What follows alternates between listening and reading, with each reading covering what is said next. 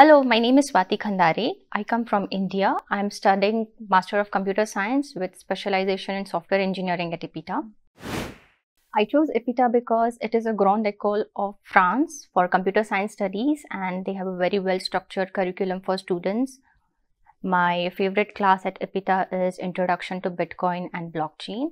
In this class, we are learning about the blockchain technology, which is the emerging new technology of the IT world. The most important thing I've learned until now is about the blockchain technology because it is the new future and it's really interesting for me to learn about it and to implement it in my upcoming future. Teachers at EPITA are excellent in their teaching methodologies and they are extremely supportive towards students coming from various cultural and educational backgrounds. One thing I won't forget is about the trip organized by EPITA to Parc Astérix.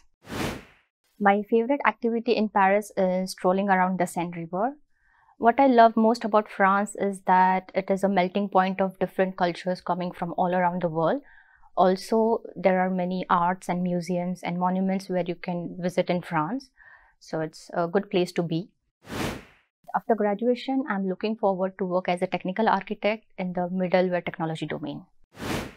My top tip for someone who is considering studying at EPITA is just go for it, apply. The management at EPITA is excellent. They are always there to help you with each and every step, right from admission process, visa application, financial aid or hunt, uh, accommodation hunt. And also they are there to help you with the housing facilities and also start learning basic French. Even though the curriculum is taught in English, it is highly important to learn basic French, which will help you to integrate in the French society with an ease.